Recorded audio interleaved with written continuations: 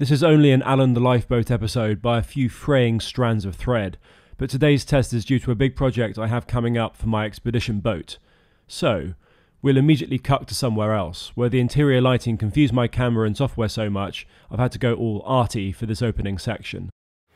Rather unusually, you are joining me today from home, and we're going to be looking at some resins, some carbon fibre, and some glass fibre.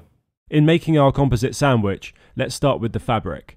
This is a mixture of glass fibre and carbon fibre. The carbon runs lengthways, with some angled across too so it's not fragile at the perpendicular. Glass fibre then runs at plus and minus 45 degrees to create a cross pattern. They alternate, so it's not glass fibre sandwiched between carbon or vice versa. The weight of the glass is greater at 200 GSM per layer, but that doesn't mean that there's twice as much glass fibre, as carbon is only about 60% of the density of glass. This provides the weight saving that advanced composites like carbon, Kevlar, and so on have over glass fibre laminates. You can see the glass on one side and the carbon on the other face, plus a few polyester strands to hold the 615 GSM tape together. It's not a tight woven cloth like a twill, so this helps it stop disintegrating. Now, this is an unusual fabric tape. Usually, people pick either cheaper glass when weight isn't a big deal, or carbon when it is, and when you need a bit more stiffness or strength. But it's an interesting hybrid combination for this episode, since we're not testing the tape, but instead the two main resins on offer. I'm making the two laminates. Half of each sheet is going to be a single layer, so 615 GSM, and I'm doubling up the other half to 1230 GSM, which is getting closer to a laminate that might manage in a structural application. People familiar with boat maintenance and other composites projects will be familiar with the two main choices. Polyester resin on the left. This is the cheapest, although they aren't all born equal, and I choose quality resins from two companies in the UK. Polyester is a single part, and you've just set off the chemical curing reaction by adding a few percent of MEKP catalyst. On the right is an epoxy two part laminating resin, two to three times the price per litre. It's similar to epoxy adhesives you may have used at home like Araldite or JB Weld, but it's much, much thinner so that you can pour, brush, or infuse it. Both are essentially plastics, and they are used to hold the fabrics, which give us the mechanical properties of a composite, into a solid matrix.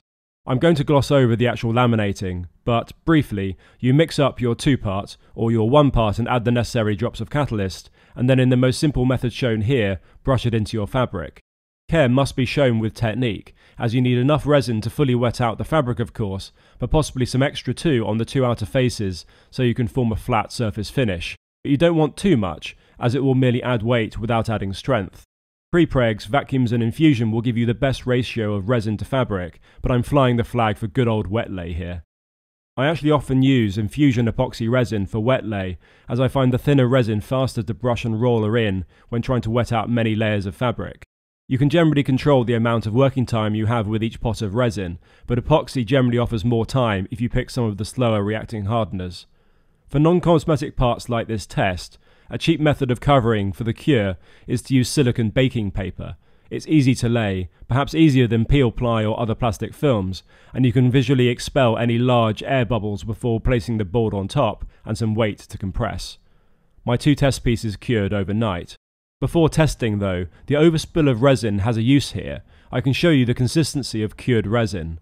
The polyester is rather brittle, and lacking fabric within tends to snap very sharply, its elongation to break is around 2%, which, by the way, is similar to carbon fibre. The epoxy does also snap, but feels more flexible, and sometimes needs more flexes to fracture, with two or three times the polyester resin's elongation to break. So similar to, or a little more than glass fibre, but less stretchy than fabrics like Dylan or Innegra. Right, time for some colour. So we're off to my Vanguard unit today, and that's where we're going to be testing the combination of carbon fibre and glass fibre, and then of course the two sorts of resins, epoxy and polyester, to see how they behave differently, if they do at all. The reason for my change of location and the initial use of my home then. Polyester resins contain styrene, which stinks to high heaven, and this is why I use my home where I can close off a curing area instead of causing a riot at the next location we're moving to now, at Vanguard in Westminster. As well as being where I store my most important equipment and clothing, the team there are admirable in how tolerant they are of me doing silly things there, like testing how snappy my composites are. Being underground, it's warm and dry there even in the autumn and winter months. Before getting going on the main test, seeing how the two resins interact with the carbon and glass fibres, and how the resulting laminates fail, plus of course how easily, more resin snapping. What fun. You can see that the polyester is more brittle, but the epoxy isn't what I call waxy, although you can now buy a specialist super flexible epoxy. These are the test pieces, and the labels are there to stop total chaos and a meltdown of confusion, not because I like using my label machine. My key question is this Is the accepted notion that epoxy is a wasted expense when used with cheap glass fibre, and conversely that polyester resin is useless with the quote unquote more advanced carbon fibre true, or merely composite snobbery? Must you match the expensive fabric with expensive resin, and vice versa? We'll start with the cheaper polyester resin, and my test isn't a quantitative analysis, nor is it a point impact test. Instead, I want to see how they behave in a simple bend and snap. The single layer first and we can fold it back on itself fairly tightly before I hear any strands of fibre snapping. If you think about it, for two pretty stiff fibre types and a supposedly brittle resin, this is impressive. The polyester is not prematurely snapping or flaking off the fabric, which means one accusation that polyester doesn't wet out carbon very well is not borne out here. I'm snapping each half of each laminate twice, and the results are that the impressively resilient composite fails only when really pressed into a fracture line, but they aren't snapping in half, and we'll see why later. Then the double thickness half. The performance is more or less what I expected. It's stiffer, of course, but can still be folded back on itself, and fails in the same sort of way, just with more effort needed. I've bent them in both the different directions, so we can compare the upper side being a carbon layer and the underside a glass layer. Let's move on to the epoxy laminate, and of course back to the thinner single 615 GSM thickness.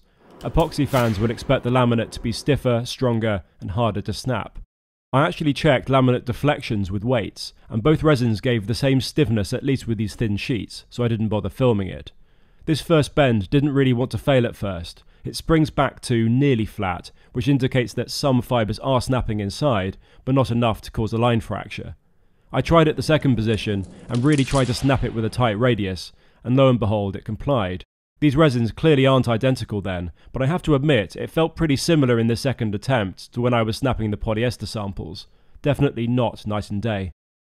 Onto the thicker double layer epoxy laminated sheet, we have something of a repeat performance. Remember here that on the first snap, we have the glass fibres on the outer of the fold, and on the second snap attempt, the carbon is on the outer of the fold. This didn't happen with the polyester, where they all failed fully, so the resins are interacting with the fibres differently and the relative higher stretch of the glass is proving the difference.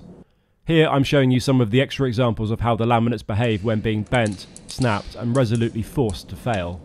Composites are inherently a marriage of different components. The recipe matters.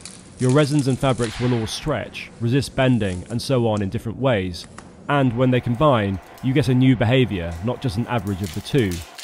When you have a hybrid of fabrics as you do here, it's inevitable that although some fibres might load up and enhance the performance of another, they will generally start snapping in a predictable order. It's also a myth that carbon fibre is a wonder product that due to reputation and cost, and by the way it's actually much cheaper than some other fabrics, is dramatically stronger and stiffer than the boring, old, pauper's choice that is glass fibre. It's nonsense. In fact, many glass fibres perform to within 10 or 20% of the strength of mid-level carbons but it's much denser, so even when resin is taken into account, comparable laminates can be a third lighter. Carbon is always comparatively more brittle, but as we've seen, it can also be remarkably flexible before pinging back into shape unharmed, especially with unidirectional fibres. You'll be noticing here that unlike the epoxy, where eventual failure with lots of flexing back and forth gives a straight line snap, the polyester behaves rather differently. There are strands and mini strands of fabric that don't want to snap neatly, they are ripping off and really being quite obtuse. Now, this is probably down to the extent of which the resin is, or isn't, really infiltrating the fabric and glooping into and around all the millions of fibres.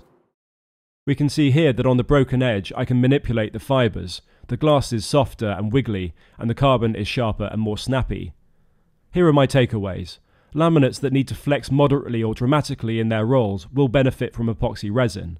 Likewise, those taking big point impacts, but that's another story. However, if weight saving is a consideration that lures you away from a traditional glass fibre and polyester resin composite, and your part is going to flex either not at all or minimally, then using carbon fibre either on its own or in a hybrid with polyester resin is a real money saver, not an act of idiocy. Just make sure you use a modern quality resin. The stiffnesses are similar enough between the resins that with a proper measurement device, I suspect we'd find low single digit percentage differences between the two. Was this what you expected? Let me know, or just get angry because you love epoxy. Either is fine. Bye.